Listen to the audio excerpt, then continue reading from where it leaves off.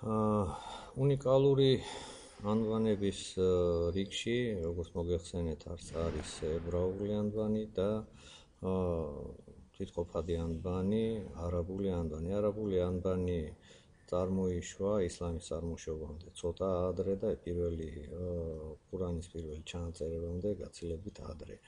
აა ის ყურანის ჩანაწერები, ანუ პირველი ყურანი ჩაწერილი 651 წელს. ფინიკიური, არამეიული და ებრაულისაგან განსხვავებით, არაბულში გვაქვს არა 22, არამედ 28 თანხმოვანი, 28 თანხმოვანი, 28 ნიშანი გრაფიკული, ხო? ხმოვნები პრაქტიკულად არ აქვს. როგორც წესი ნიშნები ეს გრაფიკული ნიშნები იწერება გადაბმით თანხმოვანთა და დაწერილობა გვაქვს 4 გვარი, ერთი ცალკე მდგომი ნიშნებისთვის სიტყვის თავში, შუაში და ბოლოში ეს ეს დამწერლობები განსხვავდება ერთმანეთისაგან. აა ანბანტრიგიც ისე ისევე განსხვავდება ის განსხვავდება ჩვეულებრივი ანბანტრიგისგან იმითი რომ მსგავსი დაწერილობის გრაფიკის ნიშ გრაფიკული ნიშნები ერთმანეთის გვერდით არის წარმოდგენილი.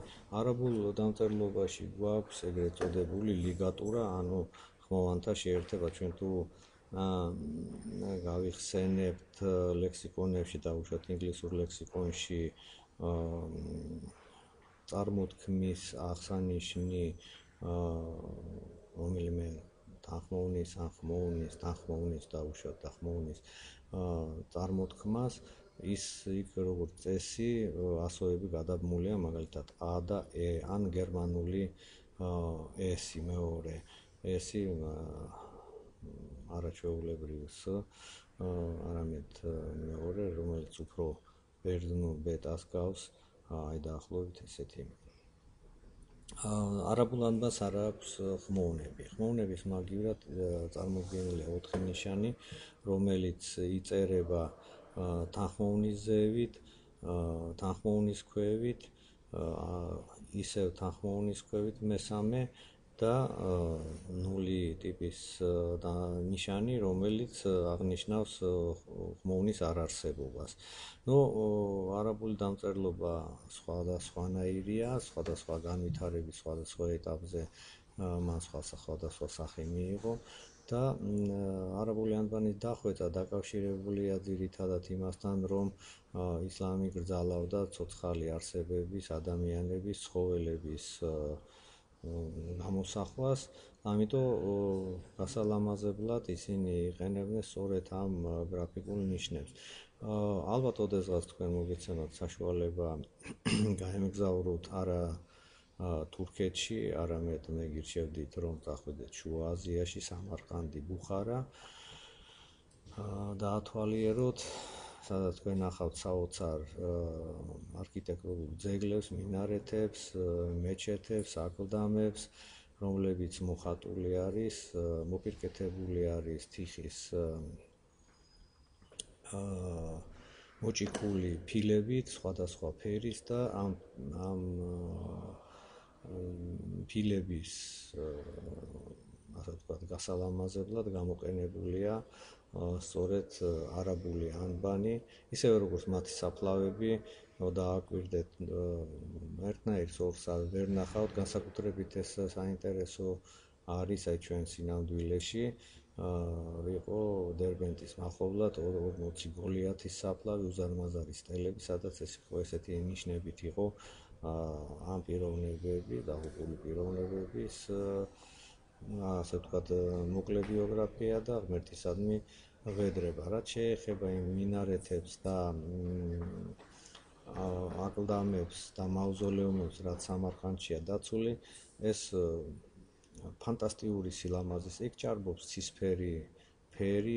თურქეთში შეიძლება ანალოგიური ნახვა, იმიტომ რომ პრაქტიკულად ყოველივე ქრისტიანული მოსრული არის და მათი ადგილი სწორედ ამ მსგავსმა წარწერებმა დაიკავა. ამდენად ეს არის ძალიან საინტერესო ანბანი. აა არაბული კალიგრაფია ცილდება ფანტაზიის ფარგლებს, მაგალითად ზოგიერთი დამწერლო გავს მეჩეთს თავისი მინარეთებით. ჩვენ დაურთაღთ ამ ნიშნებს ყველას მიუხედავად იმისა, რომ ფრინველი და ცხოველი და ადამიანი არ გალულია ზოგი დამწერლობის ნიმუში, თქვათ ისეა გამოყვანილი, რომ მიგვანიშნებს სწორედ რაღაც ცოცხალ არსებაზე ფრინველზე.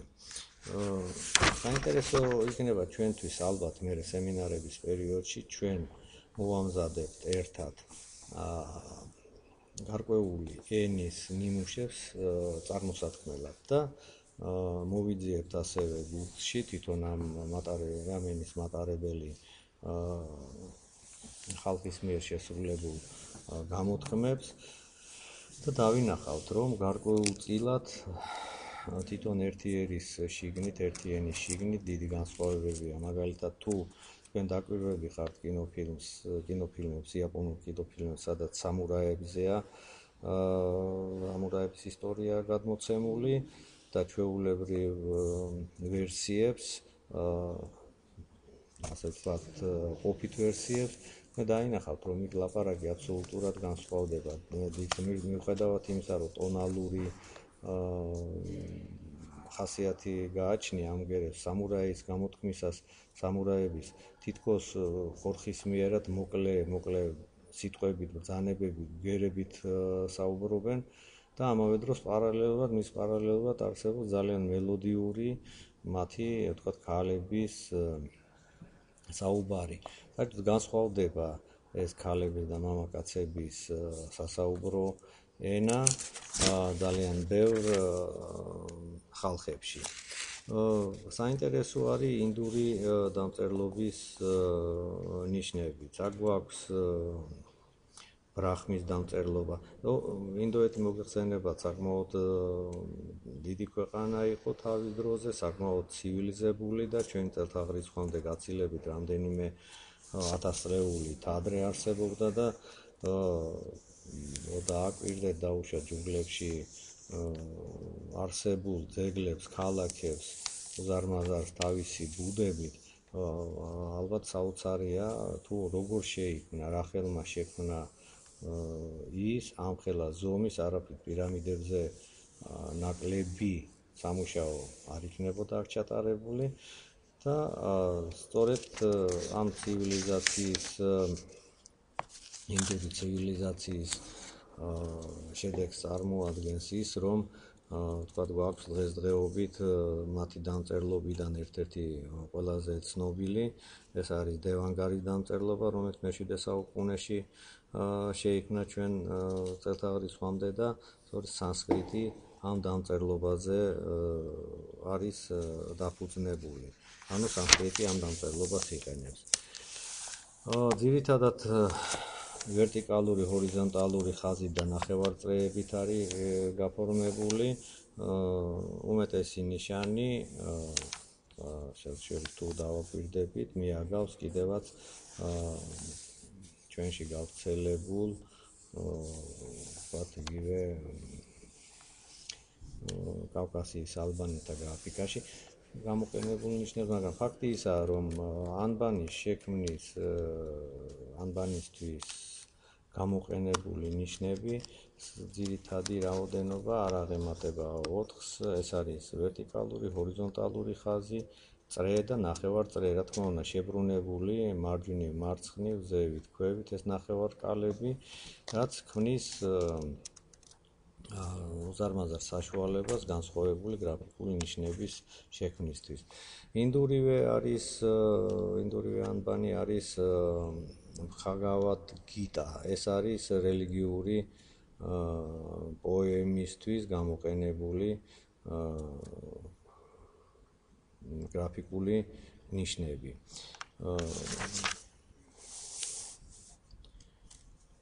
შესაბამისად აზიაში სამხრეთ აღმოსავლეთ აზიაში, ინდოეთსა და მის შემოგარენში გავრცელებული ანბანები პრაქტიკულად ერთმანეთს ემთხვევა. ოღონდ სტილიზაციის თვალსაზრისით სხვადასხვაგვარად არის გაფორმებული და ამდენად საინტერესო სურათს ქმნის ანბანების განვითარების ისტორიისათვის. Ну თქვენ და ჩვენ ვიცით რომ ერთ-ერთი ჩვენში უძველესი ანბანი არის ბერძნული ანბანი, ანუ ეს უფრო დასავლეთ სამხრეთ დასავლეთ ევროპა, ბალკანეთი. აქ ანბანი წარმოიშვა მერვე საუკუნეში ჩვენ წელთაღრიცხვამდე და ნასესხებია ფინიკიური დამწერლობისაგან, კონსონანტური დამწერლობისაგან. აა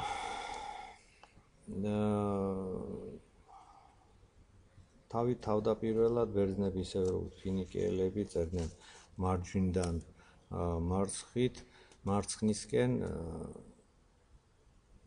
და შემდეგ გადავიდნენ შებრუნებულ დამწერლობაზე რომელსაც ქვია ბუსტროფედონი. ბუოს სტროფედონ ეს არის ხარის შემოbrunება ანუ დამწერლობის ისეთი სახე სადაც პირველ სტრიქონს წერენ მარჯვინდან მარცხნით, მარცხნივ მეორეს კი მარცხნიდან აი წარმოიდგინეთ დაკლაკნილი ხაზი, ასეთი ვერტიკალური სინუსოიდა, ანუ იწერება იქით, მერე მარჯვინდან მიდის კითხვა, მერე ისე მარცხნიდან მიდის კითხვა და ასე შემდეგ. დაკლაკნილი ჭიაყელის ფორმა აქვს. ნუ ბერძნული ანბანი კიდევ დაედო ბევრ სხვა დამწერლობას შესაბამისად ლათინურ და სხვა ევროპულებს, ევროპულ დამწერლობებს, თუმცა კი ევროპულ დამწერლობების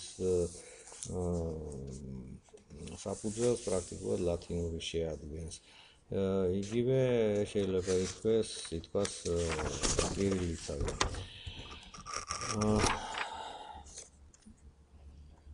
კლასიკურ ლათინურ ანბანში 23 ბგერა იყო, 18 თანხმოვანი და 5 ხმოვანი. შემდეგ გაჩნდა თქვათ ASO გრაფიკული ნიშანი W მე-11 საუკუნეში, იოტა და U მე-16 საუკუნეში და ასე იზრდებოდა ნიშნების რაოდენობა. გარდა ამისა, ხდება საინტერესო ნიშანი, რომელსაც ქვია დიგრაფა. ეს დამახასიათებელია ძირითადად გერმანული, ინგლისური ენებისთვის. ეს არის ერთი ბგერისთვის ორი ნიშნის გამოყენება.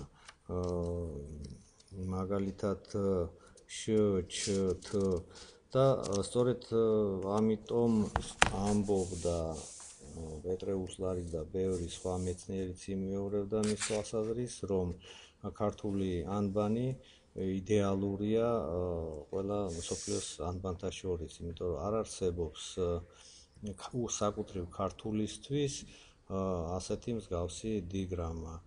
ორი ნიშნის გამოყენება ერთი ასოსთვის და გარდა მაგისა ჩვენ ტრიგრამებია, ტრიგრა სამმაგი გრაფემ გრაფენ გრაფიკული ნიშნით გამოხატული ნიშანი, იგივე თქვა გერმანული შ რომელიც შედგება s-ის c-ის და h-ის შეერთებით. თუმცა იგივე გერა, თქვა s-ს მეორენაირ სახეობაა, რომელიც ხმოვნის წინ იგითხება როგორც s-ი. ხმოვნის კი არ უკაცრავად თანხმოვნის წინ მაგალითად თუ არის შულე სამი გრაფიკული ნიშნისგან შემდგარი შტრასე ერთი ნიშნით გამოიხატება ეს არის აი ესეთი ვერტნული მსგავსი გამო გრაფიკული ნიშანი აა ლათინური ანბანი დაედო საფუძვლად შემდეგ ენას ენებს ეს არის ლათინური შემდგომში იტალიური ფრანგული ესპანური ინგლისური გერმანული ჰოლანდიური ისლანდიური შვედური დანიური ნორვეგიული ფინური და სუახილი რუმინული, პოლონური. აა გარდა ამისა ჩეხური, უნგრული, მოკლედ და შესაბამისად კიდევ დაედო აა თურქულ ანბანს, ეს ლათინური ანბანი. აა ეხლა ჩვენ გადავალთ ლათინური ანბანის გამოყენებაზე აა საბჭოთა სივრცეში. ჩვენ ცოტა ვილაპარაკეთ მაგაზე და შემდგომში ახლა გავაგზელებთ ბარეგამ მოურჩეთ ამ ლათინიზაციას და ლათინიზაციის პროცესს და ეს პოლიტიკური ხასიათის ასე ვთქვათ ცვლილებებს, რაც მასთან იყო დაკავშირებული.